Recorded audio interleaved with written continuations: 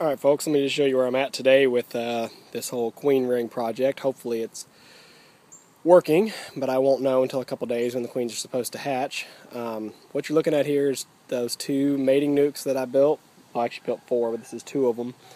Uh, and these are double-ended. We'll walk around and see the other side uh, here in just a minute. But the one on the right, I just opened up from vented to queen excluder, and the reason I did that was because I want the bees to come out slowly. And what I've watched them do is as I've released them, now they've been like this for 24 hours, so as I open that up, they come out pretty quick, but they're doing orienting flights, and that's what's really important to me to, to see this. So what I'm going to do is I'm going to try to reach in here and open this one on the left, and then I'll back up and we can kind of watch them do orienting flights for a minute or two. So we'll just come in here.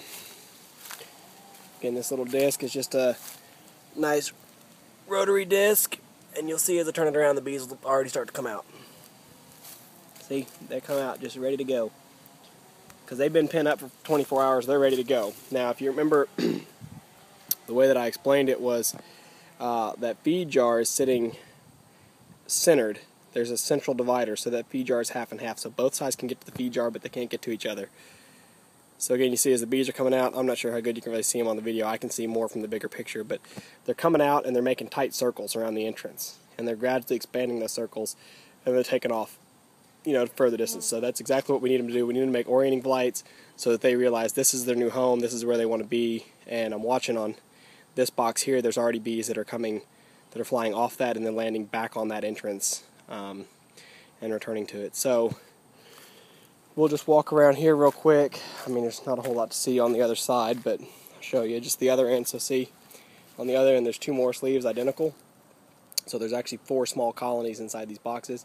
Each colony has two queen cells that I gave them yesterday when I did when I divvied everything up. So ideally, I could have four four small mating nucs here uh, if everything works. The bottom boards that are on it, I actually built to be bottom uh, single-sided bottom boards, uh, and so what. Right now they're technically upside down, so that the box has a solid bottom on it. But if I ever wanted to make it a bottom board for a nuc, I just flip it over and then it has the 7 8 inch entrance where I can put a Boardman feeder on and look like a normal bottom board. This Queen Castle here, I originally moved frames with capped cells into from another hive over in the bee yard that we'll go look at here in a minute. Uh, that was a situation where I had a guy that desperately needed a queen, so I sold him the queen, just took her out of the hive, um, and as a result, the hive went queenless and started to raise new queens. Uh, sad story is he took that queen home to his place, put it in his hive, left her cage for two days to give plenty of time for the bees to accept her. Uh, went to release her and they killed her immediately. Turned out he had laying workers. Uh, luckily, he already had another queen ordered, and she showed up the next day, so everything was good to go. Now, on this box here, uh, it's a three chamber, so there's one side, two side, third side over there. So what I did was, this is technically a 10 frame hive. It's got three three frame chambers within it. And what I did was when I moved queen cells out, I put at least one, I tried to do two or three queen cells per section, and then a frame of brood and a frame of honey or whatever I could fit in there. The side on the far left, for some reason, when I did the work, I didn't give them a queen cell. I, I thought I did, that was the whole point, and apparently I didn't. Um, which made a lot of the bees abscond from that side. They crawled, they managed to crawl through a divider or, or, just crawled out and came around. I'm guessing they came, you know, out this side, just crawled around and went to this side where there was actually some presence of a queen in the queen's cell. Uh, and so within a couple of days, um, this side on the left here actually got infested with small hive beetle.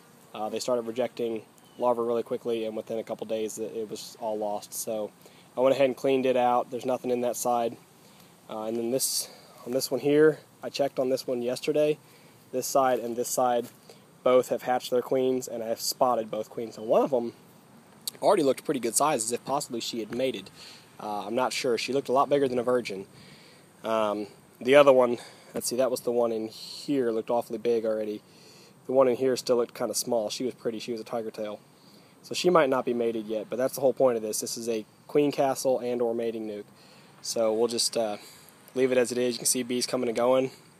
So ideally with that, I've got two more queens, two more possible small colonies. So you're looking at possibly six small colonies there that I'll try to graduate just as fast as I can into bigger boxes. But I want to leave them in the small mating nucs as long as I can, or at least for you know a month. Basically, let that queen get mated, make sure she's laying. Once I'm confident that she's a viable queen, then I'll mark her and I'll move them into uh, bigger boxes. so they can grow out. But we'll walk across the yard here and I'll look at the rest of the bee yard and show you just what's going on. Um, take a quick look at my garden. Not that the beekeeping folks care, but there's some big tomatoes, and I got a whole bunch of strawberry plants on clearance at Home Depot. They're probably none of them going to sprout, but we'll see. I got 70 plants. You're looking at 20 of them there. I'm just trying to sprout them up in pots because I'm not going to put them in the garden. It's going to get too hot. I'm going to sprout them in pots, keep them in pots all summer. So I can use that open garden space for something better like corn or tomatoes. Uh, so looking in the bee yard, um, you can see what I've done was I shook two of those that are in the mating nucs. I shook from this hive here on the far left. Uh, probably could have reduced it down to a single body, but I didn't. It still had an okay population, had a lot of drawn comb. Uh, and then I shook the other two from that hive straight in front there on the opposite rail. Um, that hive I'm pretty sure has laying worker. It's got a real good population. I gave them a queen cell a couple days ago because I didn't see any presence of a queen. Gave them a queen cell in a protector, no less. Two queen cells actually, and they tore them both down completely. Didn't just like rip them open and parasite, you know, kill them. Tore them down completely, which tells me either there is a queen in there or they're laying worker. Now, all I see is drone brood, which is making me think laying worker, but I didn't see the signs of laying worker with. I didn't see multiple eggs per cell. In fact, I didn't see any eggs at all. All I saw was capped drone brood. Um, so, I do believe it's laying worker. Um, I put a queen cell in there in a cage to see if she'll hatch. Um, if she hatches out as a viable virgin queen, then I'll take that box across the yard. And I'm sorry if you guys are catching wind. I'll take that box across the yard and uh, shake them out to try to relieve the laying worker issue and hopefully be able to release that queen. They're still, see, they're still bringing pollen in. I'm looking at a good population of bees. They're still bringing in pollen and sources, but there's no brood being built in that hive, so it's kind of on a death sentence. Again, all of the queen cells, sorry, trying to cover the microphone or protect the microphone. All the queen cells came from that hive there on the far right. That's a very prolific queen. She's very gentle. I love those bees very much. Um, and I had, I believe, seven queen cells left over, and that was after I gave two queen cells to the four nucs, so a total of eight. Put one in that hive there that it's, it's got the laying worker, and was left with seven more, so that's a total of uh, what is that, 9, 16? I think that's right. So, I don't know. And, again, I lost a few along the way because I got two of them got torn down and whatnot. But I think I ended up with, with close to 20 capped queen cells. Um, but what I've got, I've got seven caged queen cells left in there to hatch out, and that'll serve as a queen bank. Hopefully, I can come across some bees in the meantime to get some volume uh, to make a few more splits. If not, I'll introduce those queens into a couple of these other hives that have a queen, but is not a very good queen. Um, lastly, this hive, what I also put into it was I went ahead and put another frame full of queen cell cups. Put those in there last night. That'll give the bees a couple days to polish them. They really only need a couple hours, but give them a couple days to polish them. Uh, and then what I'll do is Thursday, tomorrow evening, I'm going to put royal jelly, prime each cell with royal jelly. Now it's kept refrigerated. So I'm going to prime each one tomorrow put it back into the hive so that it will warm up. The bees, I believe, I hope, will leave that royal jelly in the cells, leave them primed.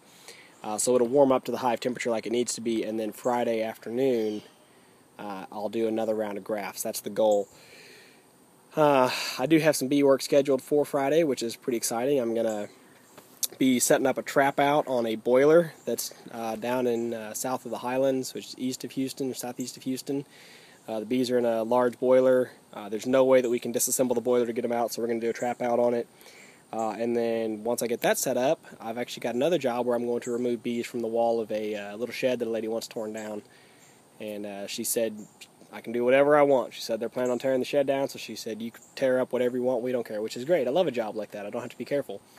Uh, so I'm going to bring a hammer and crowbar and have some fun. With bees, of course. So maybe I'll get a good population from that job. Maybe I actually be able to take some bees from that removal uh, and get enough that I can make maybe another shake or two and uh, go ahead and introduce some, another mating nuc or two. That'd be nice. But anyway, that's it for now. I just want to give you guys an update on what's going on with the uh, queen grafting project. I hope to raise more.